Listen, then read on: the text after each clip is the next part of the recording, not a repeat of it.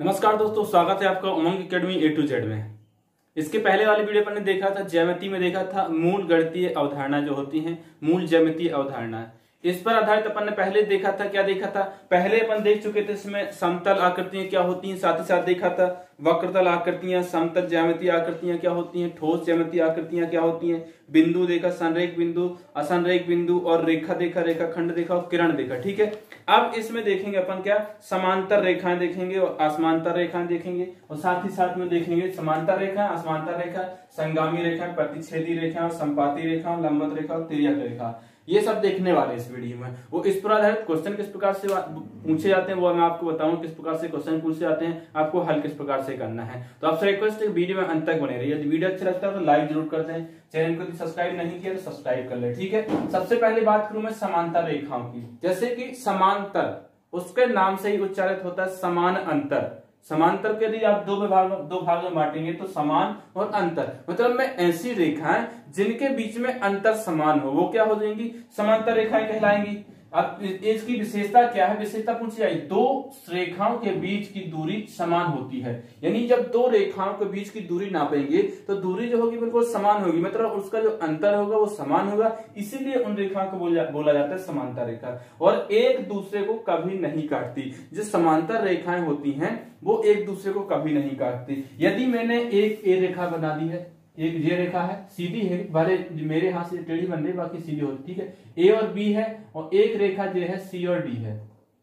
सी और डी है ये दो रेखाएँ खींच दी हैं, ठीक है? ये दो रेखाएँ खींच दी हैं, अब इन दोनों के बीच की दूरी क्या है? इधर भी बराबर है और इधर भी बराबर है, इधर भी बराबर मतलब में जो दूरी है इन दोनों की, बिल्कुल बराबर है। किसी भी प्रकार से कहीं पर आगे ज़्यादा नहीं है ना कम है, ठीक है? जो दूरी है इन दोनों के बीच की, वो क्या है? समान है। मतलब में इनके बीच का जो अंतर है समान समान है। ये जो रेखाएँ हैं जो एक दूसरे को कहीं नहीं काटती। जो रेखा क्या है? एक दूसरे को कहीं नहीं काटती। आपने देखा है कि जे रेखा एक A B B C D को कहीं पर काट रही है या पर सी डी ए बी को काट रही है, कहीं पर नहीं काटती। बस इतना ही पूछा जाएगा आपसे, सबसे ज़्यादा यही पूछा जाएगा। एक दूसरे को कभी नहीं काटती है, रेखाओं के बीच की दूरी क्या होती है? समान होती है। इसीलिए बोलते हैं इसको समानांतर रेखा है, ठीक है? इसके बाद में है आपका असमांतर रेखा है।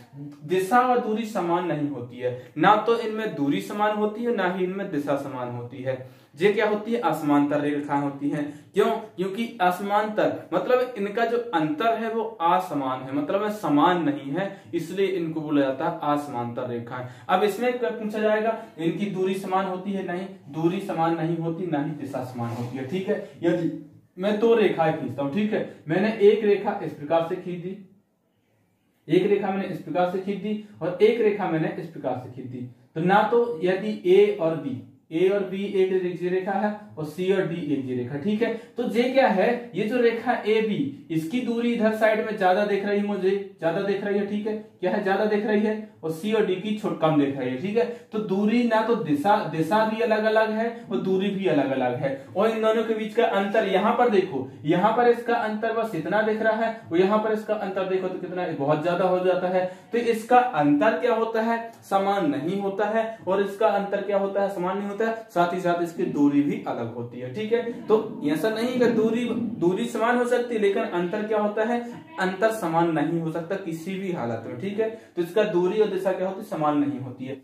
अब बात करें संगामी रेखाओं की। तो संगामी रेखाएँ क्या होती हैं? तीन या तीन से अधिक रेखा एक ही बिंदु पर मिलती हैं। जब तीन या तीन से अधिक रेखाएँ एक ही बिंदु पर मिलती हैं तो वो रेखाएँ होती हैं संगामी रेखाएँ। और जिस बिंदु पर मिलती हैं वो क्या होता है? संगामी बिंदु होता है। अब जब जनरली आपने देखा होगा संगमी जैसे कि उसके नाम से ही उच्चारित होता है संगामी मतलब में संगम। संगम वाला ना वर्ड संगम। मतलब में जहाँ पर किसी का मिलन होता है वही तो होता है संगम। तो संग, यहाँ पर रेखाओं का मिलन हो रहा तो क्या हो जाएगा? संगामी रेखा हो जाएँगी। ठीक है? उसको जो बिंदु होगा वो मान लो यदि क्या है एक रेखा गई है एक ये रेखा गई है और एक ये रेखा गई है, एक ये रेखा गई है, एक ये रेखा गई है।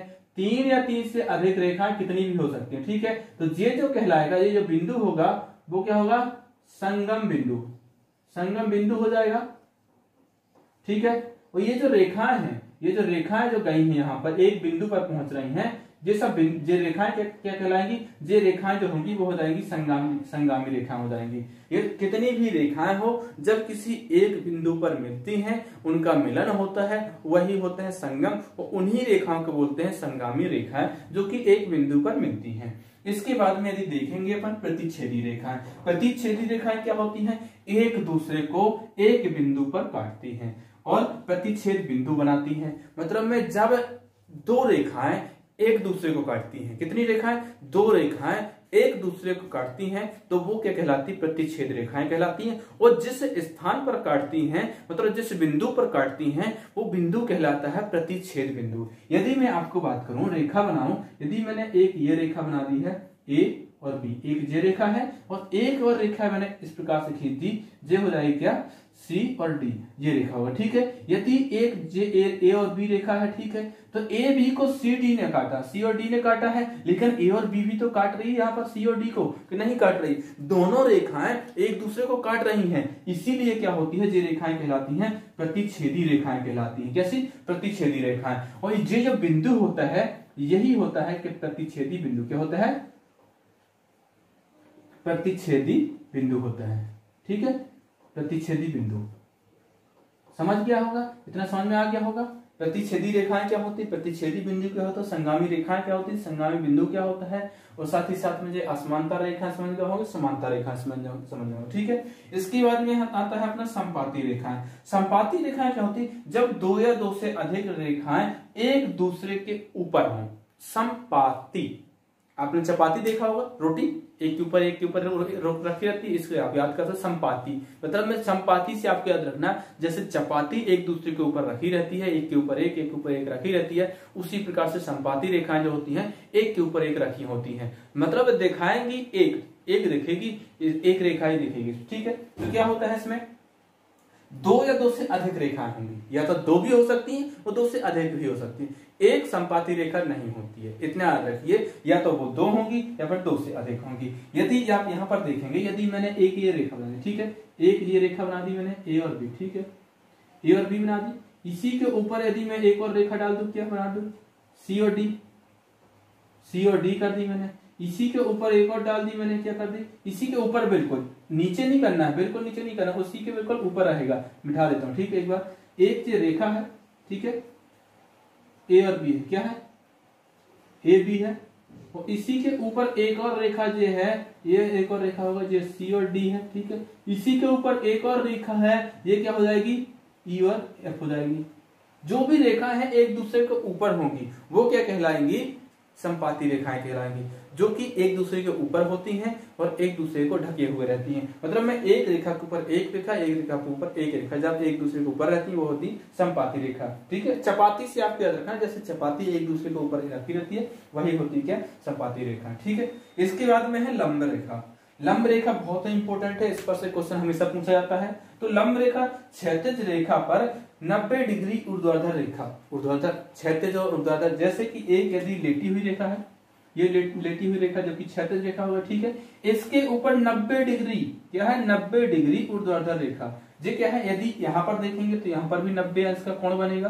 कितने का कोण बनेगा? 90 डिग्री कोण बनेगा। यहाँ पर भी कितने का कोण बनेगा? 90 डिग्री कोण। जब किसी रेखा पर, जैसे ए है और बीजे ए बी रेखा है और जैसे सी और डी है, ठीक है? तो ए बी के ऊपर लंब डाला है सी डी तो क्या हो जाएगा? सी डी लंब ए बी क्या हो जाएगा इसका? लंब लंब रेखा क्या हो जाएगी? यदि ए एक रेखा है, ए और बी एक रेखा है तो साथ ही साथ में जे सी और डी इस पर लंब डाला गया है तो इसके लिए क्या लिखते हैं? सी डी लंब है ए बी पर, सी डी लंब ए बी, ठीक है? तो लंब के लिए जनरली ऐसे लगते हैं, सी डी और जे इस प्रकार से साइन बनाते हैं, लंब ए बी। मतलब में डी जो है, वो लंब है बी रेखा पर। इस प्रकार से भी पूछा जाता है, जो आपके छोटे छोटे ऑप्शन मिलते हैं, आपको टैक्ट का एग्ज़ाम दे रहे हैं, आप मास्टर बनने वाले हैं, ठीक है? शिक्षक बनने वाले, आपको सिखाना है तो सबसे बेसिक जो अवधारणा है, वो आपको पहले से समझ में होना चाहिए, ठीक है? ये इसके कोण कितने का बनता है? नब्बे डिग्री का कोण बनता है ठीक है? यदि आप दोनों साइड देखेंगे तो नब्बे डिग्री का कोण इधर साइड ही बनता है इधर साइड बनना है। लेकिन आपसे सिर्फ़ यही क्वेश्चन पूछा जाएगा कि जो लंब रेखा है ये यदि किसी रेखा पर पड़ती है तो कोण कितने का बनता है? तो कितने का बनता है? नब्बे डिग्री का कोण बनता है। इतना आप याद रखिए। इसके बाद में क्रिया रेखा जब दो या दो से अधिक सरल समांतर रेखाएँ कोई को, कोई अन्य रेखा काटती है मतलब दो या दो से अधिक सरल समांतर रेखाओं को कोई अन्य रेखा काटती है तो वह जो रेखा काटती, वह तिर्यक रेखा होती है। आपने देखा होगा, यहाँ पर आप देख रहे थे, क्या देख रहे थे? यहाँ पर काटने यहाँ प्रतिच्छेदी रेखा देखा। यहाँ पर प्रतिच्छेदी रेखा देखा, लेकिन यहाँ पर एक रेखा को एक रेखा काट रहे थे, ठीक है? लेकिन जब क्या होगा, दो या दो से अधिक समांतर रेखा को, यहाँ पर जो समांतर तो कुछ नहीं बोला, जब दो या दो से अधिक समांतर, इसको मिटा देता हूँ, आप चाहें तो इसका स्क्रीनशॉट ले लें, क्योंकि यहाँ पर थोड़ा सा मिटाने ठीक है? ले लिया। इसके बाद में यहाँ पर देखिए ये समांतर रेखाओं के बारे में बता रहा हूँ, ठीक है? कौन सी? नहीं, त्रियक रेखाओं के बारे में बता रहा हूँ कि जब दो या दो से एक जे रेखा, एक जे रेखा, ठीक है? ये बिल्कुल समांतर है, ए बी हो गई और ये सी डी है, ठीक है? और यदि इस रेखा से इस रेखा ने काट दिया, जे कौन सी है? पी और क्यू हो जाएगा, ठीक है? पी क्यू हो जाएगी रेखा। यदि ए रेखा, ए बी और सी डी को पी और क्यू जो रेखा है, ये काट रही है जे क्या है, इन दोनों का बीच का अंतर जो है, यहाँ पर भी समान है, यहाँ पर भी समान है, यहाँ पर भी समान है। तो इन जब रेखाओं का अंतर क्या होता है? समान होता है। यहाँ पर तीसरी रेखा भी हो सकती है। यहाँ पर तीसरी रेखा भी हो सकती है। ऐसा वो नहीं है तीसरी नहीं हो।